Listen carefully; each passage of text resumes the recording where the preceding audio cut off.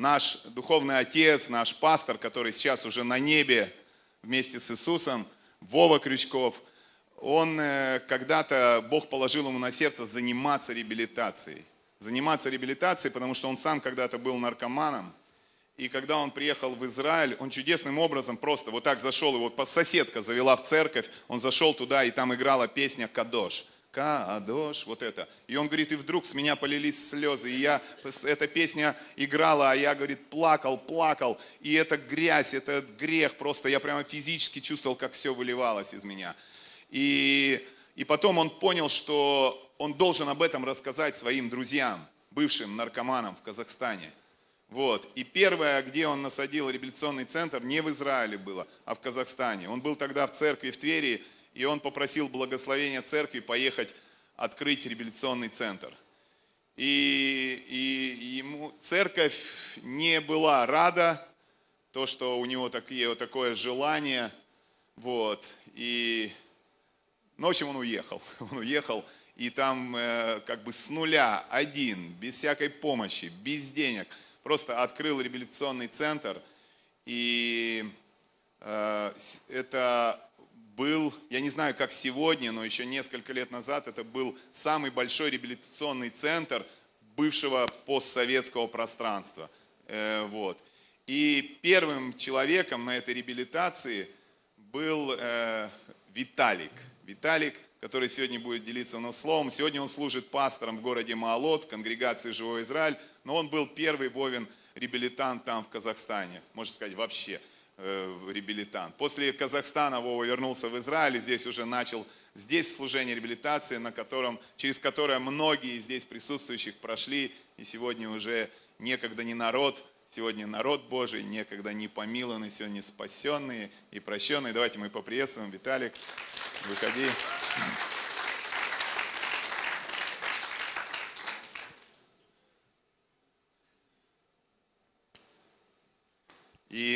Еще я так, э, э, тайные вещи, знаете, э, мы давно договорились с Виталиком, еще три месяца назад, что в это число он приедет, ну, и послужит у нас.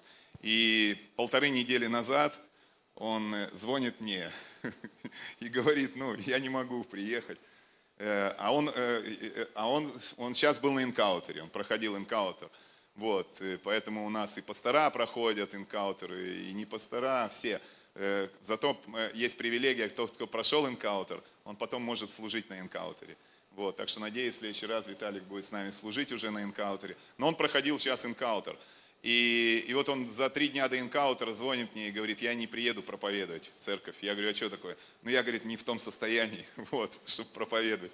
Я говорю, слушай, давай не принимай сейчас решение, давай пройди инкаутер, а потом, говорю, решишь, будешь ты служить или нет. И вот он прошел инкаутер, и уже в середине инкаутера говорит, я буду служить. Так что Бог действительно работает на, на всех. Спасибо, Виталий.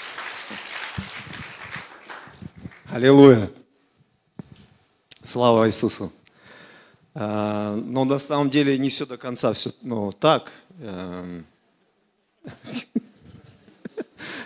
Потому что интересно, что я сейчас стою здесь, когда прославление шло, и, и мне что-то Бог напомнил. Я говорю, ты что, надо мной подшутить решил? Вот таким вот образом. Потому что когда я был на энкаутере, я ради как бы все выложил. А, ну, все было честно. И я тебя просил, открой, что я там не понимаю, веди меня в свой свет, чтобы я в этом свете все увидел, чтобы вообще как бы никаких хвостов ну, не осталось. А, я даже сюда, если честно, я сегодня выехал из дома без 15.5, думая, что начало собрания здесь в 6 с молота. Звоню к Мише, говорю, Миш, э, во сколько собрание начинается? Он говорит, пол шестого. Но мы не опоздали, мы не опоздали. Так, э, Почему я так Богу сказал? Ты что, надо мной решил подшутить? До этого еще, помнишь, месяца три назад, да, наверное, три прошло уже, или четыре месяца, ты меня, приглас... Э, ты меня позвал проповедовать. Помнишь? Э, что я тебе сказал? Да, у меня там, я куда-то уезжаю. На самом деле, да, я действительно с Мариной уезжал. А, ну, здесь по Израилю, потому что никуда нельзя выехать. И мы там на несколько дней брали а, типа гостиницы такое с, со спа, ну чисто такой отдых. Вот. Но у меня была возможность вернуться и проповедовать. А, но уже будучи тогда в, не в том состоянии, я просто вот так слукавил. А, ну вот то, что вот правда. И уже до конца. Бог живой. А, про рецентр но на самом деле, ну, немножко Миша просто не знает истории. А, когда Вова первый раз приехал в Караганду, чтобы открыть реп-центр, да, он поехал по церквям, и везде его спрашивали одно, одно слово, а, два слова. Сколько лет ты верующий? Три слова. Сколько лет ты верующий? Он всем говорит, полтора года. Они, не-не, иди отсюда. А, то есть никто не верил, что человек, который находится в вере полтора года, может там что-то вообще э, открыть, и тем более еще вот такой какой-то центр для наркоманов. Вот. Но была одна небольшая церковь, его зовут Сергей Серов.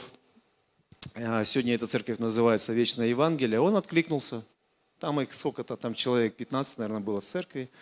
Он откликнулся, откликнулся и вот таким образом Петровка, центр э, э, Карагандинской области, поселок Петровка был открыт. Вот. Да. И это на самом деле большое событие. Но меня туда привезли, как я думал, умирать. Вот, как это был 98 год, 7 а, или 8 сентября. 7 сентября. А, потому что то, какой я был, я бы просто, ну, ну я не выжил бы со всеми болячками, там, дистрофией и так далее, я не буду говорить об этом. Я ехал умирать. И когда я зашел, Вова так на меня посмотрел, а, но кто помнит его, он такой на позитиве, да, всегда. Ну и с, э, пошутить любит, он там подшутил, ну что, Виталик, кирпичи потаскаем и так далее, поработаем вместе. А, хотя, когда время прошло, уже месяц прошел, и через, ровно через месяц, э, в октябре месяце, а, меня покрестили – и мы сидели в комнате, а, и он мне признался, он говорит, честно сказать, я не верил, что ты выживешь. Но, слава Богу, у Бога были другие планы, да, на меня. Да, и потом через какое-то время я молился, а, ну, Вова даже как бы увидел, что я живой, но я еще не верил, что я буду жить. И у нас там речка сзади репцентра, это, так скажем, Казахстан, это где степи. Ну, кто знаком, да, что такое степи? Это много-много степей, почти одни степи, степь да степь кругом. Ну и там у нас вот этот репцентр, бывший лагерь ЛТО, кто помнит, что такое ЛТО, лагерь труда и отдыха. А, студенты, школьники туда на картошку ездили, в такие лагеря. И там речка протекала. И я на эту речку ходил каждый день, молился. И вот я молился, я говорю, Господь, как ты думаешь, что дальше со мной? А, и однажды Бог мне ответил и сказал, просто одним словом, живи. Вот, и я как там стоял, так и упал от радости. Вот. Я понял, что Бог мне предлагает жить, жизнь. Ну, и слава Богу, с 98 -го года сколько лет уже прошло, да? А, я живой, да. Бог мне подарил эту жизнь. А сегодня я хочу а, поделиться, а, это тоже будет и свидетельство, и немножко слова – как там проповедь называется? Я шучу. Эм, исповедание, э, через исповедание к свету. Я хотел вообще сначала назвать через исповедание к ведению или к пониманию, потому что у меня был один момент в жизни, а, это тоже было на реабилитации, а, и я понимал, что Бог, э, как бы внутри что-то меня такое было, что меня тянуло уже из центра, знаете, как от мамки хотелось уйти. Вовы тогда уже не было. А, не просто уйти там куда-то, а именно служить, а, что-то делать, двигаться. А, и я молился, и Бог мне не открывал. И как-то пригласили нам э, в церковь одного пастора с Караганды – и он проповедовал. Я, честно сказать, я не помню название проповеди, но я помню, какая тема была. Именно об исповедании.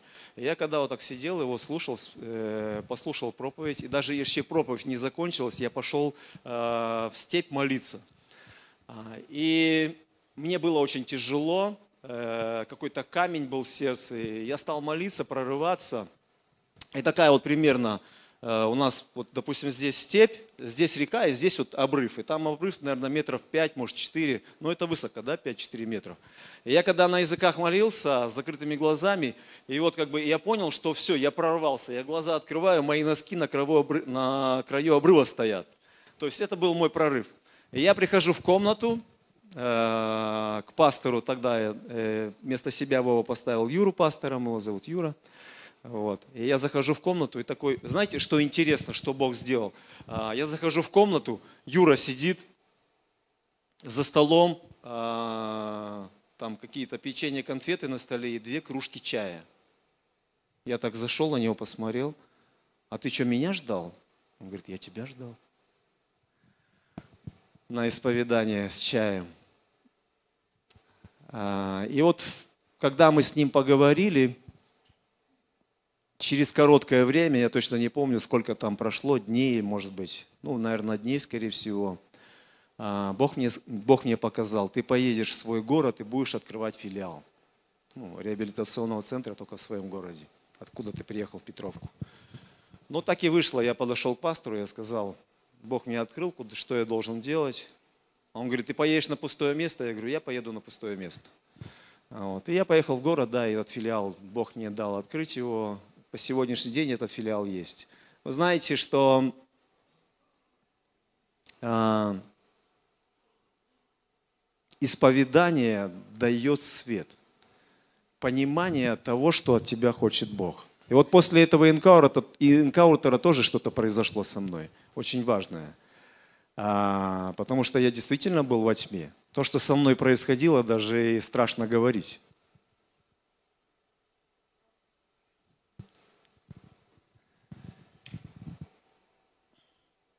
Хорошо, я сейчас. Я как бы это не с телефоном и не с планшетом, хорошо? А,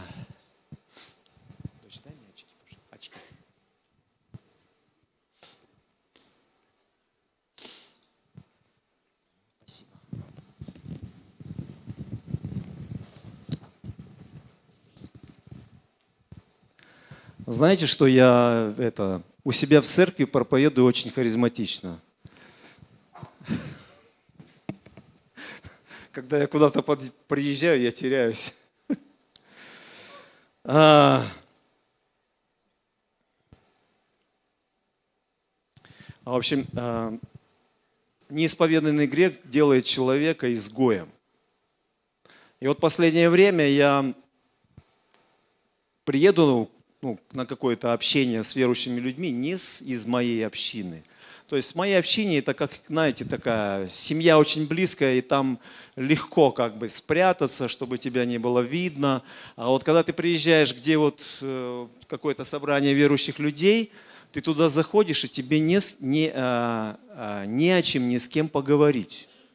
А, ты прячешь глаза, тебе раз что-то, как, как у тебя дела? Ну это такое, ну чтобы выглядеть как все, ты такой, о, отлично, все хорошо, ну как бы сказал и отошел дальше. То есть ты не можешь жить среди верующих людей. Хотя, да, ты как бы являешься спасенным человеком, ты, ну, еще утром встаешь, там, молишься, еще читаешь Библию и все, но что-то не то. И знаете, что самое интересное, что я понимал, что что-то не то, а, я знал конкретно, что не то, я приходил на алтарь к Богу, я поклонялся Ему, я молился, кричал, каялся, просил прощения, избавь меня, очисти меня от этого. У меня ничего не получалось. То есть я помолился и как бы чего-то жду, жду того, что было раньше, когда я имел радость от спасения – Помните Псалом 50, да? Господи, верни мне радость спасения моего. Я ему говорю, Господи, дай мне ну, действительно быть счастливым от того, что я спасен. Какая-то рутина, все, все не так. И ты продолжаешь дальше с этим жить и в этом ходить.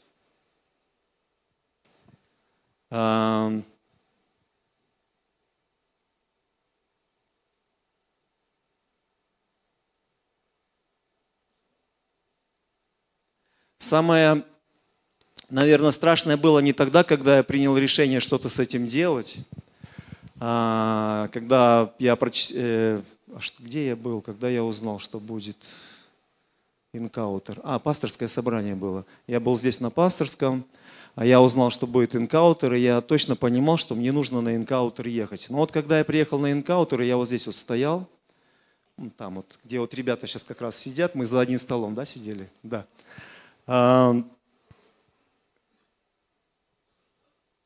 И когда выходили здесь вот на покаяние,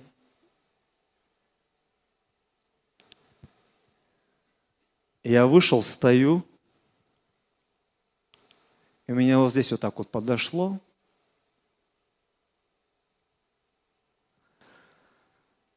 И кто там мне это проговаривал, я не знаю. Ну, понятно, кто лукавый, да? А ты не боишься за, за свой статус? Ну, что такое статус? Ну, ты пастор. Я такой стою, И вот в этот момент, когда Лукавый мне проговорил эти слова, я вспомнил тот момент 98 э, -го года. Вы знаете, э, для меня тогда вообще не важно было, я готов был э, ради Него на все.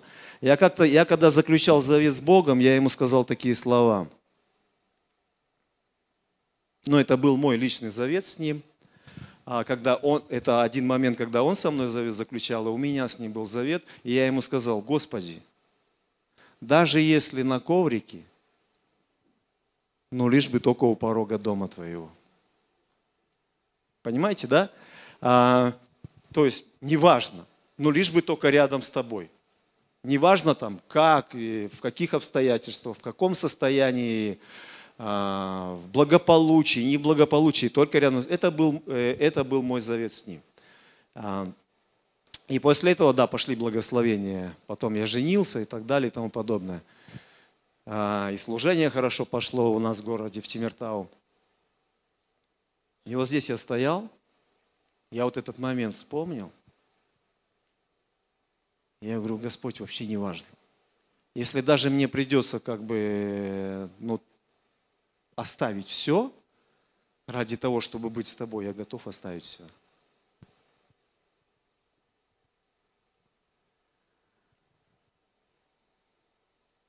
И когда я здесь находился, и после этого я размышлял о, о случае с Давидом, когда вот у Давида была, он увидел девушку красивую, ее звали Версавия, да, помните? И там тоже был момент, насколько я так вот понял, ну, а, как я вижу это местописание, что это было одноразовое развлечение. То есть он увидел, взял, было хорошо, ну и все, и забыли как бы, да. А, ничего страшного, но один раз ничего страшного. Хотя э, тот уровень его жизни, ну как бы вообще как царя и как духовного человека был очень высок. Аминь. Согласитесь, очень высок. И когда ему, помните, Версавия присылает записку, я беременна. И вот тут сработал вот этот вот момент. Вау! Это позор. Что они про меня скажут? Я царь. плюс любимчик Бога. И понимаете, и вот на этот грех начал накладываться что? Еще один. Помните, да, он его позвал к себе. Иди сходи домой, переночуй с женой. А тот дома даже не ночевал. Он говорит, почему ты не ночевал дома? Как я могу ночевать дома с женой, когда там мои воины и мой командир, они там сейчас на поле битвы? Он ему, ну тогда это, тебе надо написано. В общем, он его напоил. Думал, все-таки что-то у них там с Версавией произойдет. Ничего не произошло. И план, план, план за планом, план за планом. Грех. Вы знаете, что грех идет по, по нарастающей. И то, то же самое было в моей жизни. Он, он не уменьшается. Чем больше человек затягивает а, высветить то, что его гнетет внутри его и делает его рабом греха, тем хуже становится. Поэтому, когда ты понимаешь, как верующий человек, потому что Дух обличает, Дух никогда не молчит. Дух обличает, и нет, мне Дух тоже проговаривал. И я, в принципе, каялся, я, в принципе, исповедовался перед Ним. Но этого было мало. И вы знаете, и э, вообще-то исповедание – это библейский фактор. Аминь. Кто со мной согласен? Но можете открыть некоторые места Писания, я там давал, да? Матфея 3.5 и, по-моему, Деяниях 19.18.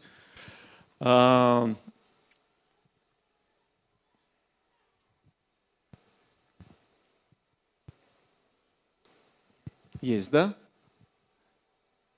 А, 3.5 я сказал. 3.5. Подождите, я что, неправильно сказал? Матфея 3.5.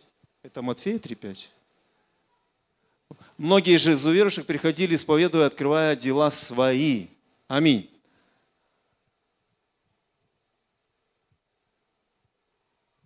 Угу.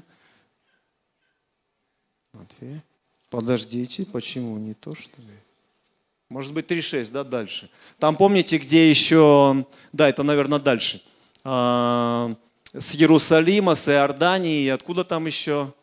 Приходили к нему люди, крестились и исповедовали грехи свои. То есть, да, на основании Священного Писания, как бы мы видим, что это да, исповедоваться в грехе нужно. И лично на моей практике, на моей жизни я вижу, что исповедание важно, потому что без этого ты не вытянешь. И вы знаете, что с Давидом произошло?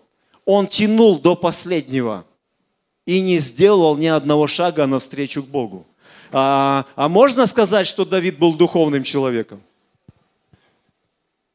Сто процентов. Голиаф и так далее и тому подобное, да? А его поступки, его поведение, как он себя вел. Тот был духовный человек, но он просто заглушил духа, он не слушал его. То же самое происходит с человеком, когда ты не прислушиваешься Духу Святому, ты затягиваешь, а грех на грех начинает накладывать. И потом еще хуже и хуже и хуже. Ты прячешься от людей, ты боишься встреч с верующими людьми, ты закрываешься ото всех. А самое главное и самое страшное, что ты начинаешь лицемерить, вести двойной образ жизни. Здесь ты такой, там такой. Верующего люди где должны видеть? А? Ну, везде. Что он верующий? На работе, дома, в автобусе, на, в машине, в троллейбусе, везде. Аминь. В самолете.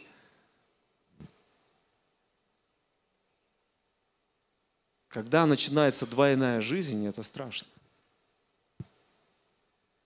Двойной образ жизни. Ты там и здесь. И не там, и не тут.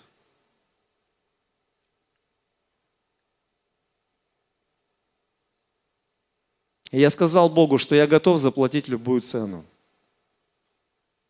Вот здесь, когда я стоял, я отдаю все. Если мне скажут, что ты больше это, я приму все, я готов. Но мне главное вернуть радость спасения твоего. Опять переживать благодать. А, смотреть а, людям в в глаза и не бояться этого.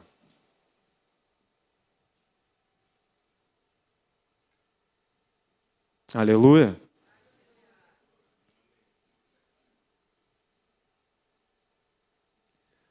Что-то еще хотел сказать. У меня короткая проповедь. Ничего? Э,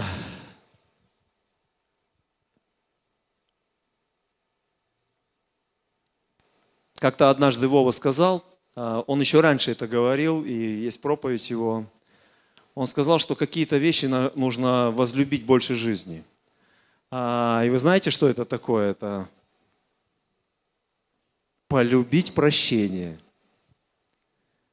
Я потом уже к этому ко всему дальше приложил, полюбить чистоту в Иисусе Христе.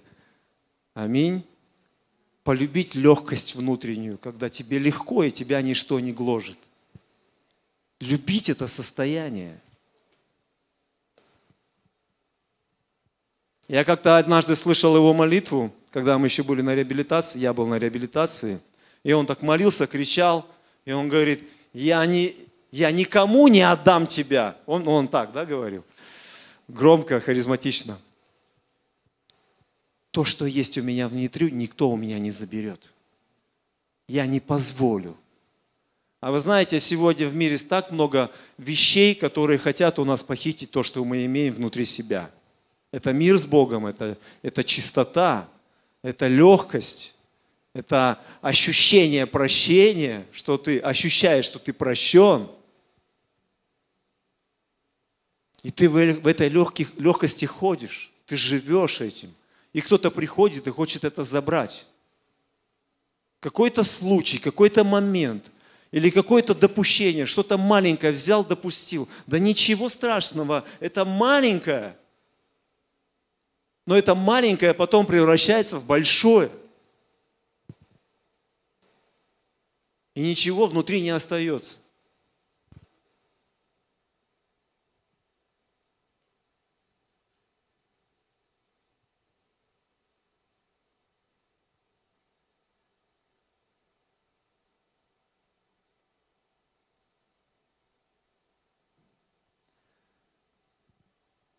Я говорю, лучше умереть, чем жить без этого ощущения прощения и чистоты.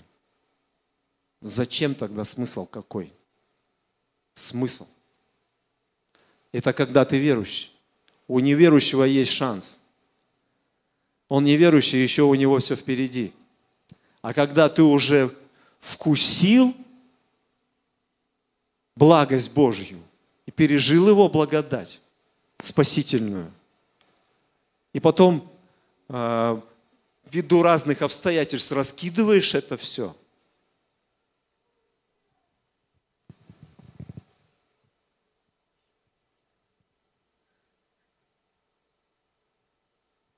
Лучше этого не делать. И мы с Мишей говорили, и мне очень сильно коснулось то, что он сказал мне. Он говорит, знаешь, э, ну вот нужно сейчас вот именно жить так, как будто бы Иисус вот сейчас придет.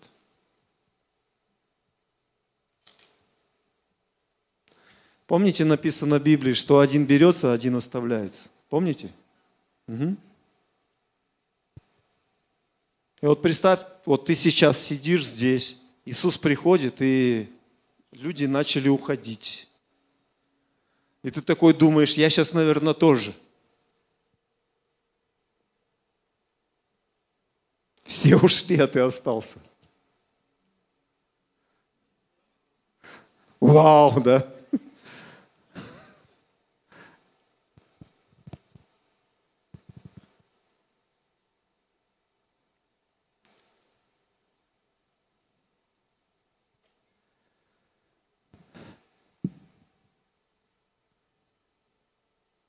Сделать надо Господа своей жизни самым главным.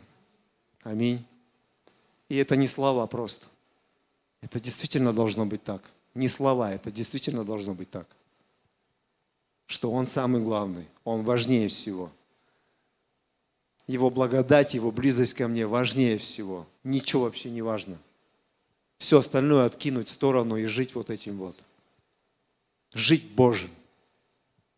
Аминь. Можно я спою одну песню? Ну, хорошо. Я не профессионал, я любитель. Ничего, да?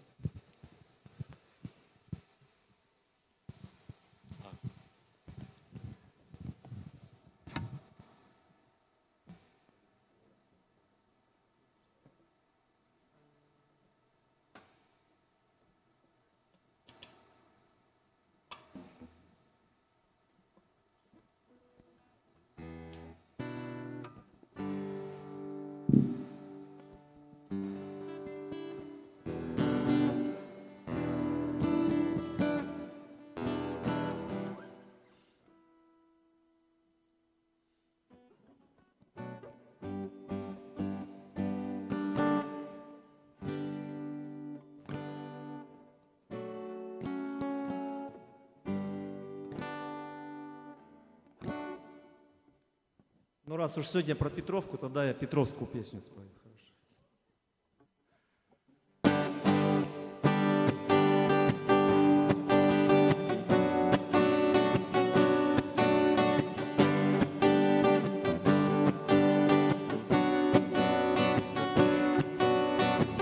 День сменяется ночью, ночь сменяется днем. Год за годом уходит своим чередом. Я не знаю и не знает никто, что есть счастье и что есть добро, но я знаю, что у меня есть Бог, который любит меня и создает тебе новую жизнь. И создает тебе новую жизнь. И создает тебе новую жизнь. Поверь ему.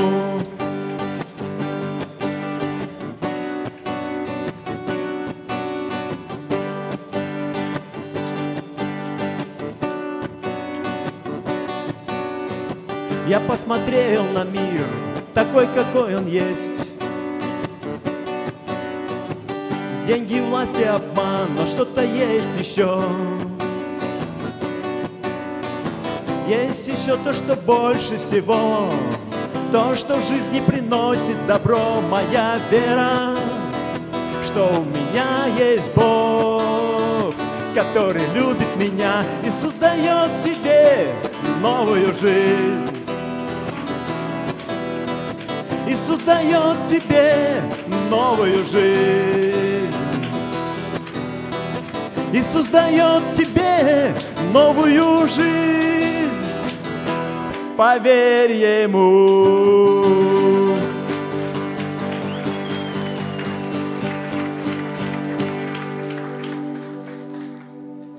Ну, еще одну.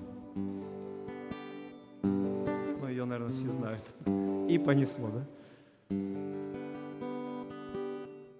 О Спаситель мой, Иисус, прикоснись ко мне, и пусть я в любви в Твоей потеряюсь. Пусть любовь Твоя, мой Бог, согревает сердце мне, и вся боль внутри как лед растает. О, Спаситель мой, Иисус, прикоснись ко мне, И пусть я в любви в Твоей потеряюсь. Пусть любовь Твоя, мой Бог, согревает сердце мне, И вся боль внутри как лед растает. Иисус, поток воды Иисус, хочу навеки быть с тобой.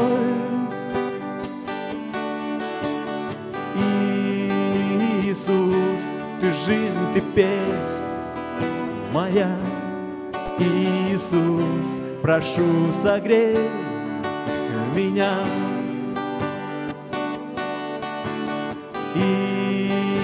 Иисус, поток воды живой. Иисус, хочу навеки быть с тобой.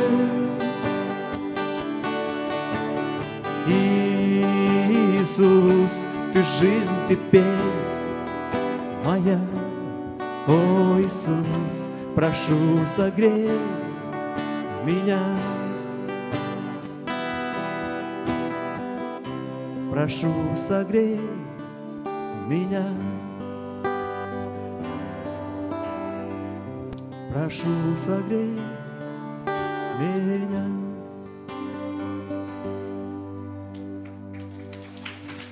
Слава. Отец Небесный, спасибо Тебе, что Ты приходишь вовремя, Бог. Ты всегда приходишь вовремя. Ты никогда не опаздываешь, Господь. Единственное, что мы должны сделать, это откликнуться, да, откликнуться на Твой призыв, на Твой зов, когда Дух Твой Святой взывает в наших сердцах. Что нам нужно сделать? Да что самое главное? Ничего нет самого главного, Господь. Это переживание Тебя в своей жизни, Твоей благодати и спасения, Господь. Это общение с Тобой, Господь. Это пребывание с Тобой. Это благоговение и благоухание в Твоем присутствии, Боже. Ничего больше нет важного. Вот это и есть важное, Боже. Не дай нам поколебаться, когда придет время. И дай нам всегда делать правильный выбор, Господь. В сторону Тебя, в сторону Твоей любви и милости, Господь. Спасибо Тебе, Иисус Христос, что Ты вовремя пришел в мою жизнь. Все изменил, Господь. Одним прикосновением. Благодарю Тебя, Боже Святой. Благослови каждого из нас, Господь. И дай нам всегда, Боже Свят, Твое ставить выше всего, что есть на земле и в нашей жизни. Прошу Тебя, Господь. Молю Тебя, Господь. Спасибо Тебе, Боже, за, свят, за этот вечер. Я благодарю Тебя, что Ты дал мне сегодня сказать то, что было на сердце от Тебя, Господь. Спасибо Тебе. Благодарю Тебя.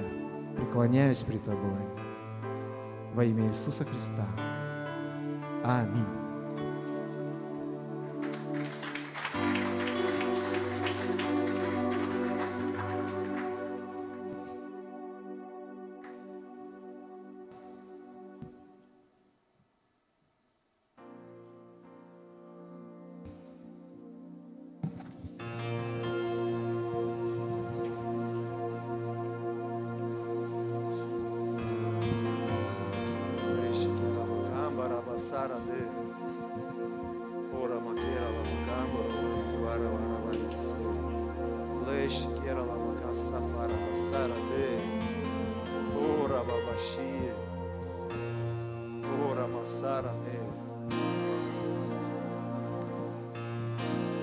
Спасибо Тебе, Господь,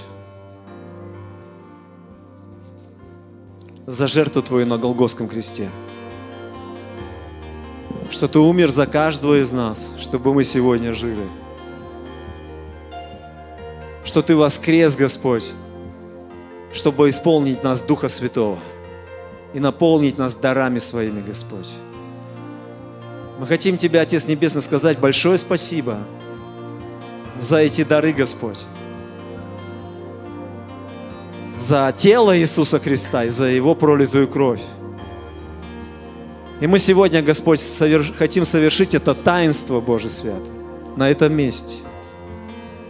И действительно, Господь, совершить это таинство воспоминания о Тебе, о том, что Ты сделал, Господь, на Голгофском кресте.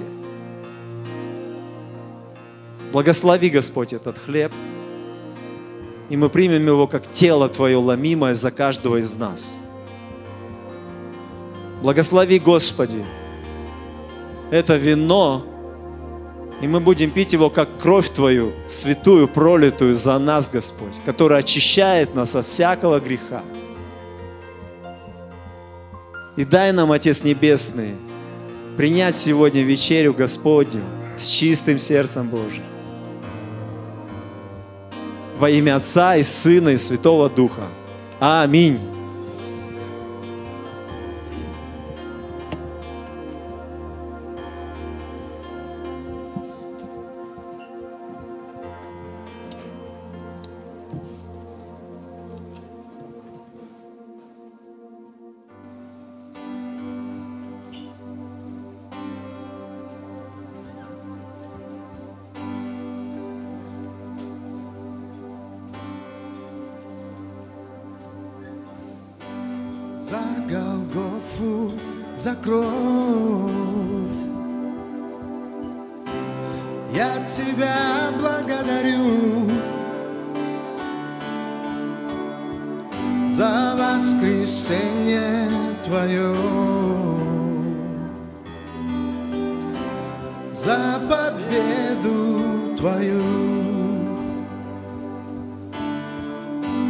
За Голгофу, за кровь. Я Тебя благодарю за воскресенье Твое, за победу Твою.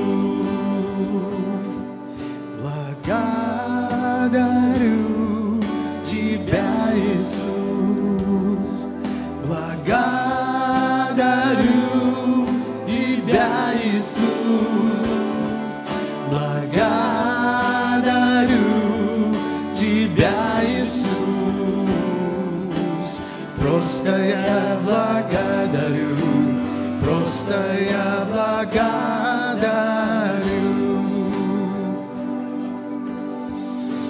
За Голгофу, за кровь.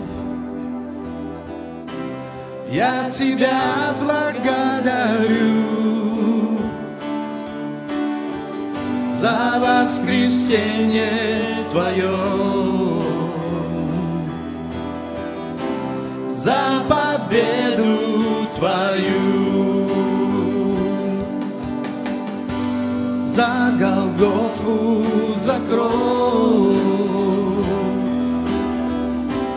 Я тебя благодарю. За воскресенье Твое, за победу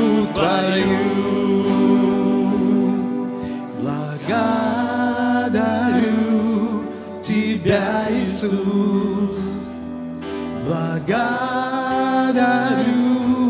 Тебя, Иисус,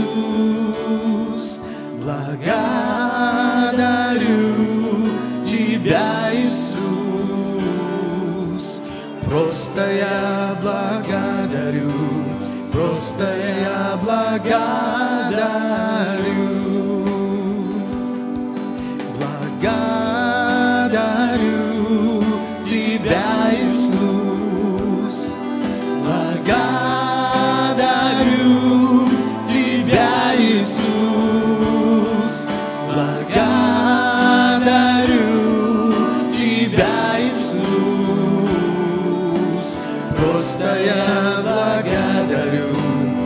просто я благодарю. Благодарю Тебя, Иисус. Благодарю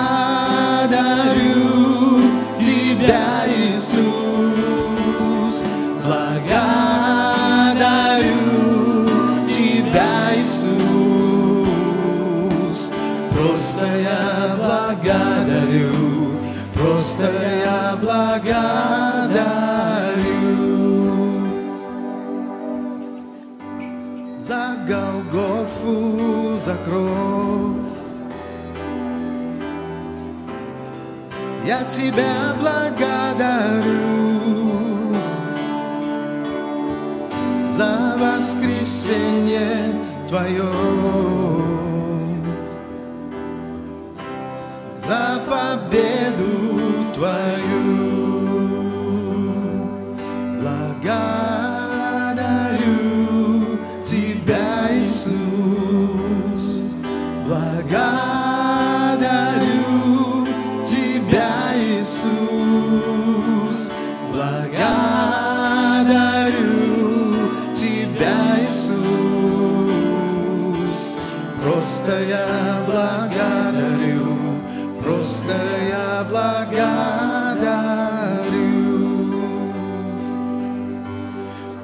Просто я благодарю, просто я благодарю. Просто я благодарю, просто я благодарю.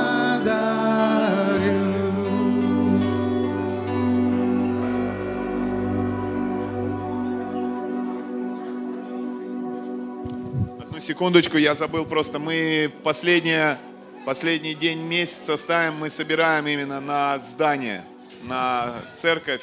То есть я забыл просто сказать, давайте, то есть это вот корзиночка еще, можно пока продолжить, пока будем расходиться, кто на церковь принес вот в корзинку. Хорошо?